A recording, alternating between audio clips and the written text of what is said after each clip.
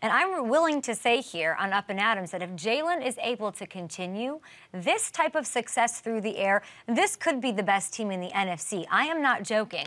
And we'll see if our first guest agrees. And here he is joining us from, I believe, the Bro Barn, if I'm not mistaken, a Super Bowl champion, three time Pro Bowler. Al Miles is one of the pillars of the Eagles offensive line. Lane Johnson, hi.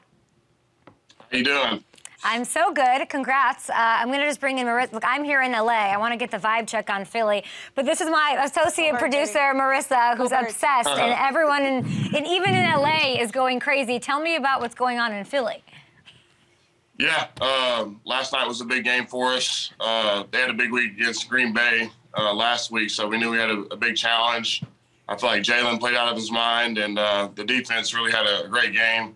Slay, unbelievable game. Uh, two picks, could have had, like you said, probably four, but just playing lights out. And uh, yeah, man, it was a big win. Yeah, I mean, Hurts put on an absolute clinic. It is the story of the day. Everyone, he's the toast of the town. What do you see in him? What's the biggest difference that you've noticed between this year and last year? I, I just feel like there's no substitution for experience. You know, the more you play, the the more you um, you know have the ability to learn more about the game and learn from yourself. So and uh, really, you know, just took a big step forward last night. I just think the things that he can do with his arm and legs are very unique, and um, you know, makes it very hard for the defense to to control him. I feel like offensive linemen normally love to run block lane, and you guys run more yeah. than a lot of teams do. You were number one, the number one run game in the entire league last year. How fun is that, and how much do you prefer it? Uh, well, like the pass, like for like an offensive lineman, like there's very little upside to the game. Like the best thing you can do is not make a mistake. But like open up the game with like true empty or something, that's like jumping out of an airplane. You don't know if your parachute's working. just get, get ready to rock and roll. But uh, yeah, no, it, it, definitely it's a lot of fun getting the tee off and uh, yeah, and I guess inflict pain instead of just taking it. Yeah, it sounds pretty fun there. Okay, we had Joe Thomas on the show, which was very fun, and he sung your offensive line's praises. Take a look. I think the Eagles have the best offensive line in the NFL because they have no weaknesses. It's also because they're they're not injured because yeah. they do things the right way during training camp. If you look at their tackles, they probably have the best duo of tackles in the NFL, Jordan Mailata and Lane Johnson. Lane Johnson been doing it for a long High time praise. at right tackle. High praise from a future Hall, future Hall of Famer. Listen, you've been on a Super Bowl team. This is that kind of an offensive line. Does this team feel special? I feel like we're very talented. I mean, obviously, there's a lot of work to be done. I think eliminating the distractions and uh, really, I mean, going into each game feeling like you're outgunned or outmatched, and uh, you have to prepare that way. I think it all starts in practice, and uh, yeah, we just have a lot of lot of good energy, and uh, you know, kind of, you know, looking forward to next week against Washington, and uh, yeah, you, we I know we have a, a lot of ability, so it's just about taking it one week at a time. Lane, you're not even celebrating. You're already on to the next team. Stop. Yeah, I mean it was a late night too. I mean we started at eight thirty, probably got home at one thirty. So you give me it's our day off too. So. Well, I love that you're joining us. What's that torture device to your to your right? You're talking about getting better. What what are we looking at here in the Bro Barn? I'm actually I'm in the corners like where we store equipment, so there's a lot of bars. so, so yeah, beware. it looks it's like only, yeah. My, my house is very uh, chirpy right now, so I had to get out here. I'm sure, I'm sure everybody's probably still celebrating. I love that. Uh, let's talk about your coach. He's been chirpy a time or two, and we love to hear it. He's incredible in front of a microphone. What's your best Nick Sirianni story? Uh, he's just an extreme competitor. Like when it comes to anything, he's very competitive. Uh, the I guess the funny storyline last year was like you know he was talking about uh, our team you know planting the seed. And sometimes it takes a while oh, to yeah. you know reap the bene- reap the benefits of it. And so it was like our season last year. I think we started like one and three or maybe one and five, something like that. And and uh, so he got a lot of flack for that. I think there was something to do with a tennis match. I think he got a little bit chirpy. I think it was a Giants fan or some like some fan. Um, but yeah, just a little friendly chatter. Uh, so that, I thought that was pretty funny. Chirping and chatter out of Nick Sirianni. So much credit to him for uh, what this team has been able to do in a short period of time. Uh, I, I want to talk about A.J. Brown. I've talked about him a lot here on Up and Adams, this new show that I'm doing, and he's obviously always open. I think he's the best addition made uh, in the offseason as far as wide receivers are concerned. What did he bring to the team that was missing?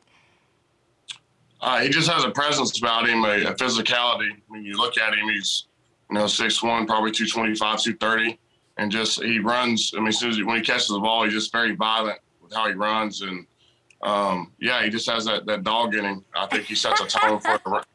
you know, he sets a tone for the room. I mean, really for the building. I mean, he's just a very uh, special talent.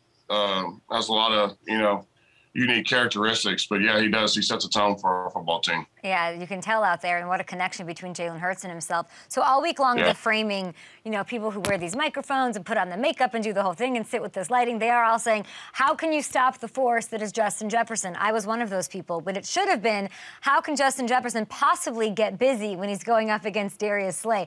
You could tell watching last night from where I was sitting on my couch that it meant something to him. Did it feel like the defense was extra locked in this week because that was a message sending bounce back? Yeah, I think that, and then having our, you know, the home crowd advantage, having that noise, um, you know, that really is a big factor.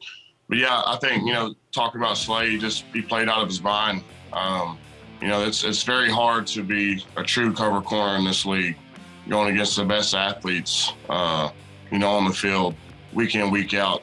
Um, yeah, played out of his mind, and he's a man. He's uh, was voted captain this year. Uh, he's, he's he's a great leader for all the the young guys. It's a good example, and and how he plays is just uh, unreal. So it's fun watching. Is he underappreciated? I feel like uh, you know he's he's got a great he's got a great personality, but just the way he plays his ball skills, how fast he is, he's a he's a dynamic player. He's uh he's unreal. You you mentioned Washington. It just hit me because I haven't even looked at. I don't look at that schedule till tomorrow. But you're going to face yeah. your old quarterback who you protected for so many years. You're facing Carson Wentz. How will yeah. you feel playing against him? Man, you really go into the game just trying to be emotionless. It's not like I'm out there trying to tackle him. So it's like, uh, you know, what's your defense? Well, I want to win this game. Uh, that, that that's the plan. But uh, yeah, um, that's really what it what it boils down to. Uh, you've been in the league 10 years. It's incredible. Congratulations on that. And you have a very unique relationship with your fan base there in Philadelphia. And you're a Texas mm. guy. You enter yeah. Philly, different worlds. I even saw a video of you that they had up yesterday where you're telling Philly fans to get drunk, responsibly, of course, but to go have a good time before this game. What does that fan base mean to you? I think they listened. Uh, no, I mean, it's just, you know, uh, there's nothing like a Sunday there at the Linc. I mean, people tailgating. That's what people look forward to all year.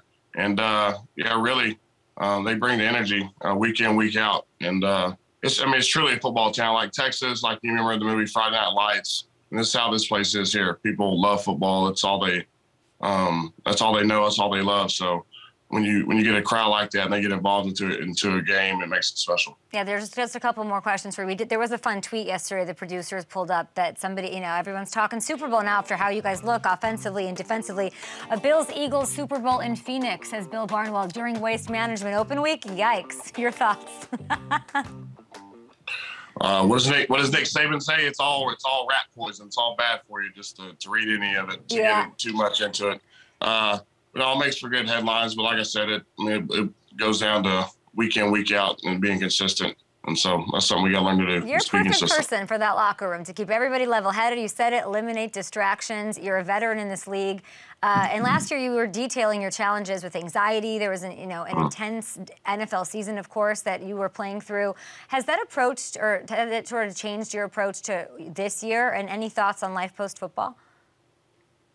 Uh, yeah, I mean, it's just really about adapting and learning more about yourself. I thought that's what I ultimately did was just learn more about myself and uh, became better at the end of it. I can play my best football and uh, really in a good headspace. But yeah, um, you know, talking to people, I feel like a lot of the younger generation uh, would just it's just a new dynamic uh, that kids face nowadays, and so I think just talking and, and being open with people is the is the best remedy. What were some of the resources that you sort of took advantage of? You've been so open about this. I talked to Brandon Marshall about it on Friday. Everyone's open about mental health now, uh, especially in the NFL. It's really great to see. What were some of the resources you took advantage of last season into this season that you can maybe share? I uh, really just seeing, you know, sports psychologists or therapists. You just really had to learn more about yourself and break down some of the walls that you may have, you know, being prideful about stuff. Um, yeah, I would say that it's really about communication and being being honest with yourself. I feel like men sometimes can be very uh, stubborn. I'm not going speak for myself. Can be very stubborn, and so sometimes it's hard for us to, I guess, fully express ourselves. And so, learning to do that and, and being open with your teammates, I feel like in the end, it's just um, the best thing. It's about communication. We are communicating to you. Yeah. We love to have you on the show. We are celebrating a Victory Tuesday with Lane Johnson. Go get yourself some Mickey Mouse pancakes and mimosas in there. Yeah, yeah, we'll go find that. All right, thank, thank you. you so much, Lane Johnson. Of course, we love having you.